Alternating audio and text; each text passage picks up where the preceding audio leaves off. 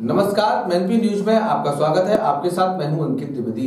विकास खंड घिरोर के प्राथमिक विद्यालय नायली को प्रदेश स्तर पर चयनित छिहत्तर स्कूलों के टॉप टेन में चुना गया, जिससे प्राथमिक विद्यालय के शिक्षकों एवं छात्रों में खुशी का माहौल है। देखिए हमारे संवाददाता शिवमकार मिश्रा की ये रिपोर्ट। सरकार के शिक्षा स्तर ऊपर उठाने के प्रयास सार्थक होते दिखाई दे रहे हैं। सोमवार को राज्य स्तर के स्मार्ट क्लास से जुड़ी सूची जारी हुई, जिसमें प्रदेश में छिहत्तर स्कूल चयनित हुए, जिसमें जनपद मैनपुरी के विकास खंड गिरोर के प्राथमिक विद्यालय नायली प्रथम को टॉप टेन में शामिल किया गया। विद्यालय के प्रधानाध्यापक महेंद्र प्रताप ने बताया कि टॉप टेन में चयन के बाद 12 जनवरी को बेसिक शिक्षा निदेशक द्वारा सहायक अध्यापक निंसका जैन को सम्मानित किया जाएगा और उन्हें प्रदेश स्तर पर स्मार्ट क्लास प्रेजेंटेशन करने का मौका भी मिलेगा। पूरे आगरा मंडल में चार विद्यालयों को चयन किया गया।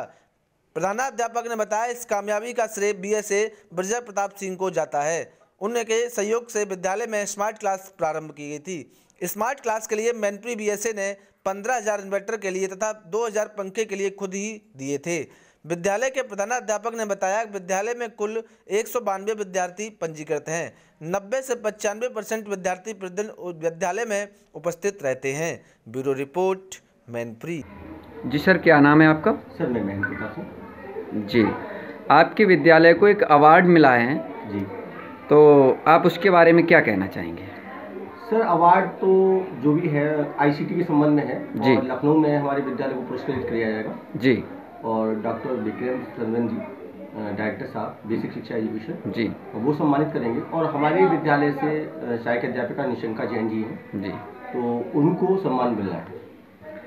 जो अवार्ड मिला है आप इसका श्रेय किसको देना चाहेंगे? सर इसका श्रेय देखा जाए तो हमारे नज़रिए से अ, हम पहले से ही वैसे आईसीटी के संबंध में पेपर्स मोबाइल्स और लैपटॉप का यूज़ कर रहे थे। किंतु बीएसए साहब मैन हैं। बीएसए साहब ने हमें थोड़ा सा मोटिवेट किया बोले स्मार्ट क्लास हो तो और अच्छा लगे। तो उनके सहयोग से हमने स्मार्ट क्लास स्थापित की जी। और बनाई। और उससे सबसे बड़ी बात यह है कि अधिगम स्तर बच्चों का बहुत अच्छा सुधरा है। साथ ही लर्निंग प्रोसेस हुई है उपस्थिति हुई है नामांकन बढ़ा है। ये सारे काम एक साथ हो गए हमारे लिए और फ़ायदेमंद रहा। और सर बी साहब ने हम लोगों के लिए मतलब जब भी आए हैं कुछ ना कुछ स्कूल के लिए किया है। आपके विद्यालय में रजिस्टर्ड बच्चे कितने? सर एक सौ बानवे बच्चे रजिस्टर्ड हैं। जी प्रेजेंट कितने रहते हैं इसमें? जी सर प्रेजेंट कितने रहते हैं? सर 80 से 90 परसेंट के बीच पर डे रहती है। जी। इससे पहले आपको किस विद्यालय में थे? मैं सर प्राथमिक विद्यालय लपगुमा में था इंचार्ज अध्यापक के तौर से। जी। यहाँ आए कितना समय हो गया? यहाँ सर मैं जुलाई 2016 में ज्वाइन किया था प्रधानाध्यापक। जी थैंक क्या नाम है मैम निशंका जैन सहायक अध्यापिका प्राथमिक विद्यालय नारी प्रथम गिरोर में। जी। एक अवार्ड मिला है जिसको जिसमें आपको सम्मानित किया जाना है उस अवार्ड का क्या नाम है? सर वो आईसीटी अवार्ड है जी। स्मार्ट क्लास प्रेजेंटेशन जी, जी। वो हमको पहले हम मंडल स्तर के लिए गए थे वहाँ जब सेलेक्ट हुए उसके बाद हमें अब लखनऊ बुलाया गया है इस अवार्ड के लिए। इस अवार्ड को मिलने के बाद आप क्या फील कर रहे हैं? सर अवार्ड मिलने के बाद पहले तो धन्यवाद बीएससी सर का देना चाहूँगी। खुशी हुई है क्योंकि उन्होंने इनकरेज किया हम सभी को स्मार्ट क्लास के लिए। और उसके बाद अपने हेड सर श्री महेंद्र प्रताप सिंह जा- जी का भी बहुत बहुत धन्यवाद देना चाहूँगी जिन्होंने मुझे आगे इनकरेज किया जाने के लिए और पूरा सपोर्ट किया।